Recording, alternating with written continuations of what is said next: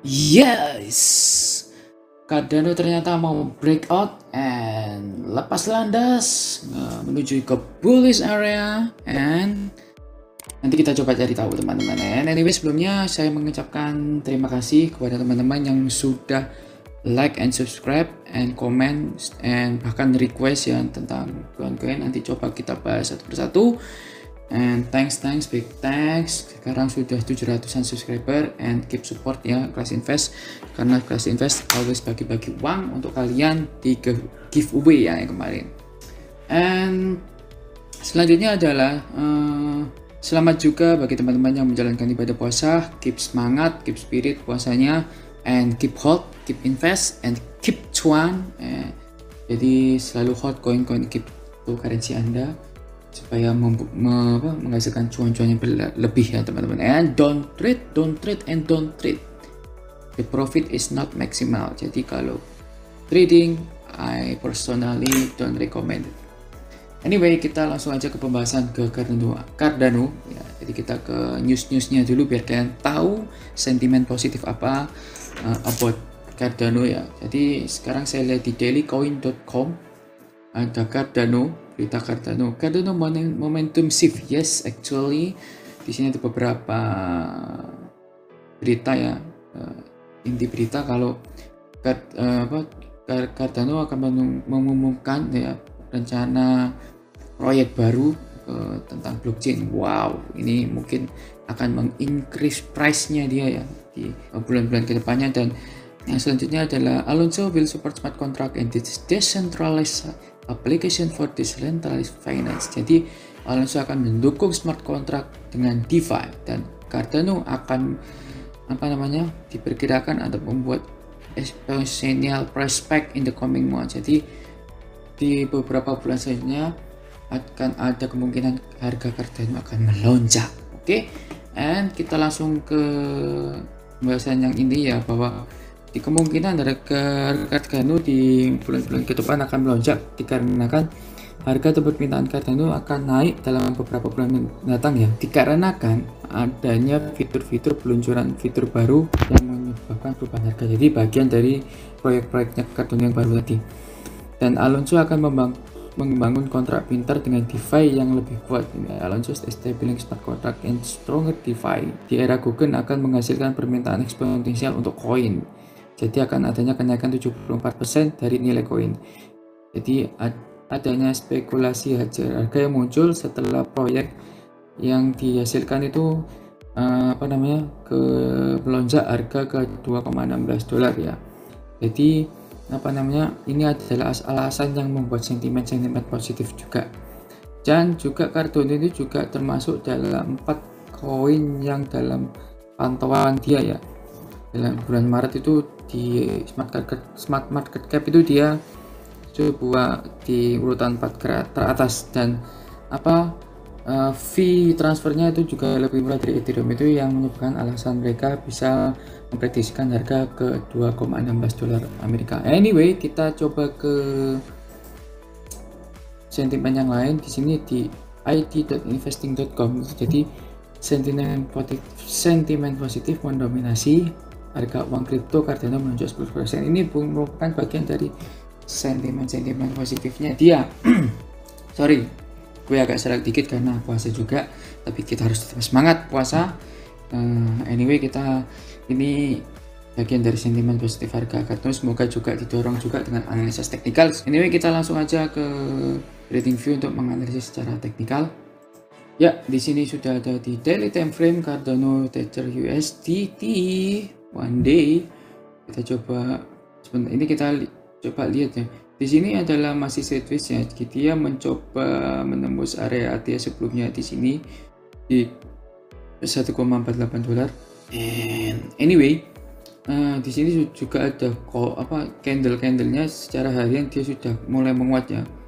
Full candle, full candle. Jadi ini full candle juga. Semoga ini juga nanti ditutup hari ini dengan full candle juga. Bisa breakout di area sebelumnya. Ya dan itu akan menjadi good idea buat kita semua. And anyway selanjutnya adalah kita buat sebuah video Fibonacci ya seperti biasa teman-teman. Jadi setelah kita lihat secara daily terjadi beberapa pantulan teman-teman. Jadi terjadi beberapa pantulan. Coba saya kasih tahu bahwa pantulan yang pertama adalah di 50 ini 50 nah karena dia mantul dia breakout mantul di 61,8 golden Fibonacci area. Dan di golden Fibonacci area ini ada beberapa pantulan teman-teman ya. Ini adalah pantulan yang sangat ampuh. Di satu di dua dan sini ada pertengahannya di mantul mantul dan dia ke sini. Dan sekarang dia di area 78,6 beberapa kali mantul akhirnya dia terbang. Anyway itu itu adalah pantulan yang sangat menarik teman-teman dan coba kita hapus dulu. Ya.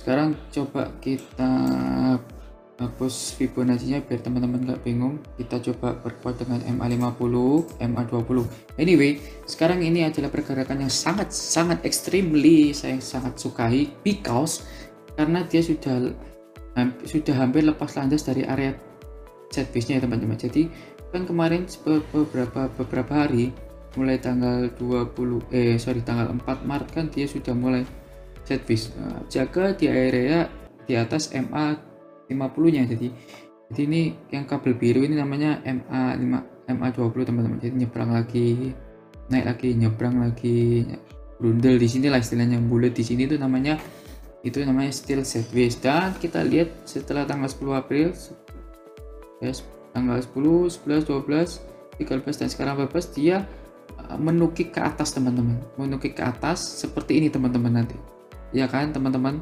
dia menukik ke atas jadi renggang Kerenggangan ini menyebabkan dia extremely bullish, mengindikasikan extremely bullish ya teman-temannya. Masih indikasi teman-teman. Ini kan kerenggang teman-teman. Jarak ini dengan ini renggang itu extremely bullish. Ya. Ketika dia dekat lagi di sini, nyebrang nyebrang lagi dia sideways lagi dan itu kita sudah menuju area bullish. Itu simpelnya teman-teman. Oke. Okay? coba kita hapus lagi biar teman-teman nggak bingung and saya akan tunjukkan satu lagi bahwa di sini kita juga sudah bisa gambar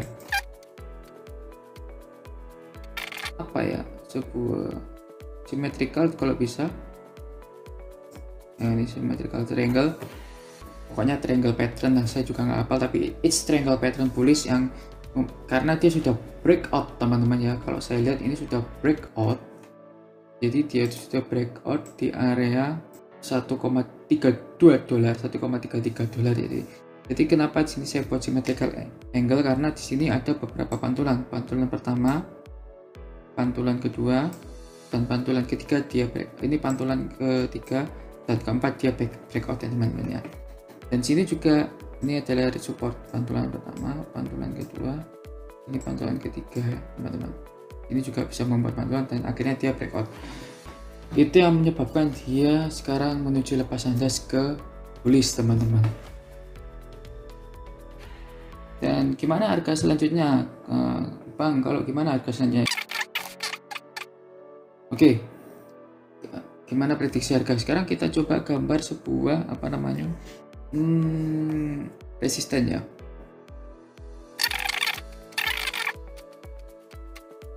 Nah kalau coba saya lihat gambar sini dia masih sudah blackout tapi dia masih uh, belum menguji di area ATH sebelumnya teman-teman ya jadi nanti ketika dia sudah menembus ATH nya jadi skenario ketika dia sudah menembus ATH nya teman-teman.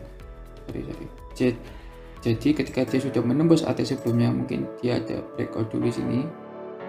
Breakout dan dia akan meretest ya. Dan dia akan melanjutkan kenaikannya ya. Kenaikannya nanti kita hitung di berapa. Kenaikannya adalah gini teman-teman. Jadi kita hitung antara support dan resisten mungkin kenaikannya ada di 2 dolar 2,02 dolar ya di antara sini ya persis hampir persis yang seperti tadi diprediksikan sentimen positif karena pada proyek-proyek yang tadi saya sebutkan di web sebelumnya and anyway Hmm, di sini ada sekitar di 0,2 dolar.